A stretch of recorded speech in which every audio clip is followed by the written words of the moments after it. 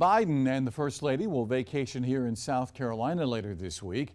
The White House says they're going to head to Kiawah Island on Wednesday. They are expected to stay through the weekend. Now, over the years, the Bidens have vacationed often at Kiawah Island.